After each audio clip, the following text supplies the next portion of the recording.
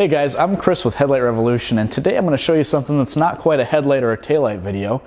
We've got our 2017 Ford Super Duty F350 in the shop today and we're going to be doing some cool stuff to this in the future. We've got a chase rack, we've got a suspension lift, wheels and tires coming in for it, and a bunch of lighting for it. But one thing we wanted to do was take these emblems off and get them painted.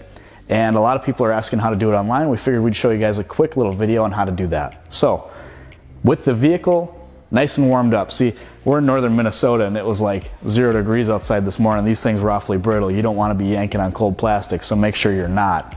Um, all you have to do, take your fingers and just start at this corner here. And what'll happen is you'll pop this corner out first. You can see how that's pulling away. I'm gonna get on this side here. There's four clips. There's one clip here, here, here, and here. And what you wanna do is get this one started, reach your fingers back here, and you can pop it off like this. Now, I'm gonna tell you the truth.